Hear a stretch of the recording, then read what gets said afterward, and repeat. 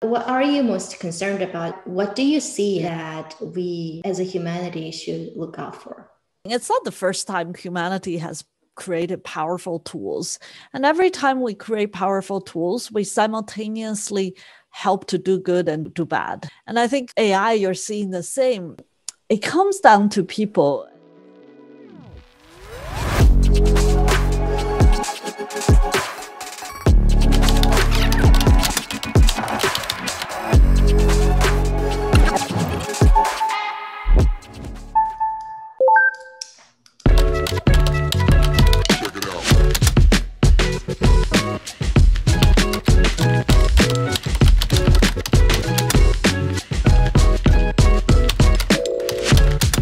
So much again for your time, Fei I'm really excited to have a conversation with you on this very important uh, topic uh, of our time. Thank you, Zoe. I'm just excited to have a time opportunity to continue our conversation.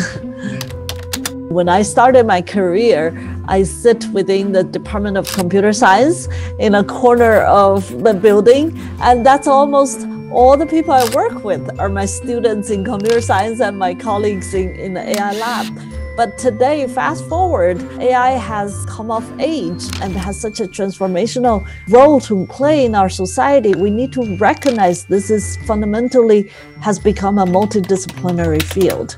Right. Yeah, that's great. I still remember that I also was sitting in the corner of the computer science department because of interdisciplinary nature. Computer science engineers didn't see AI as an orthodox engineering discipline. Oh, you probably belong to psychology department. we have come a long way since then. I share the company, the handout you designed to summarize Stanford's vision for human-centered AI, but I'd like to hear in your own words, like what is the purpose and vision in leading such an important center at Stanford? So, the idea of Stanford's uh, Institute for Human Centered AI, which we call HAI, started about um, four or three years ago we start to, you know, it's after Google's AlphaGo uh, beat the human master, a Korean master of Go, Lee Sedol. It was after self driving car is no longer a science fiction, it's uh, very much in production. But it's the same time after biased face recognition system is entering the public awareness in terms of the equity and, and fairness issue.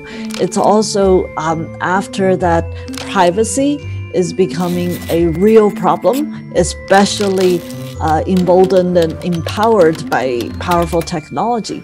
We collectively recognized that it's a new chapter to think about Stanford's role in artificial intelligence and technology in general. So HAI is founded on the mission that we want to advance AI research, education, and policy and outreach to better human conditions. You emphasize that AI framework is needed to lead a long-term positive change in this transitional period and also emphasize the roles of the government, academia, and also the corporations how can they do their responsibilities and to come up with more collaborative structure? Yeah, sure. Uh, Zoe, this is a great question. So, HAI is founded on the fundamental belief that the new AI framework is multi-stakeholder approach. You know, we cannot do this alone. When I say we, it's either computer scientists or universities alone. So we center all of our work in research, education, policy, and public outreach on three important focus areas.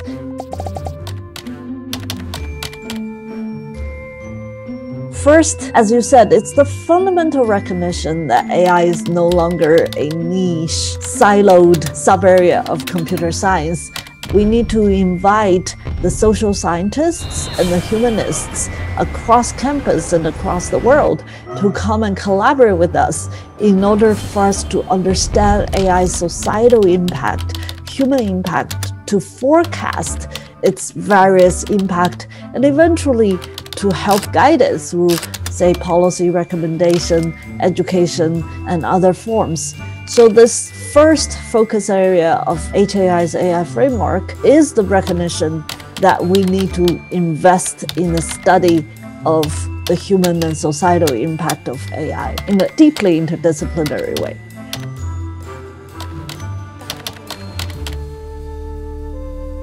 Second, related to this, is actually the recognition of a verb when the public today thinks about AI or hears about AI, the verb they hear the most is the verb replace, right? But the greater opportunity of AI as a technology is not replace, it's to augment humanity. And this is something that's really dear and near to my heart. I've been working in healthcare for 10 years now. AI as a technology, alongside other technology, can help increase the productivity of our doctors, keep patients safer, reduce fatigue and stress of our uh, nurses and, and doctors. And there's just so many, or help with drug discovery, vaccine discovery, and understand how to cure for rare diseases. There are just so many opportunities AI and machine learning can help augment the well being and productivity of human lives and human work. So that's the second focus area of our AI framework is to focus on investing technology and research and education that is intended to augment and enhance humanity. Last but not the least, these lofty goals of AI helping humans cannot be achieved by today's AI technology. It still remains very brittle, very narrow, very unexplainable. we recognize the opportunity that even in the advance of the basic science of AI, there is a place for humanity.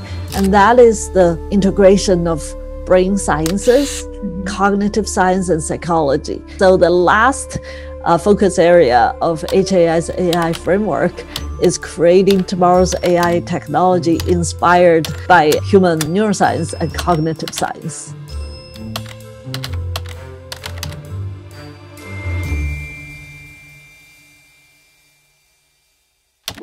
You've been a very a strong advocate in involving government and its support from very early on. Why do you think it's critical to have involvement and support from the government?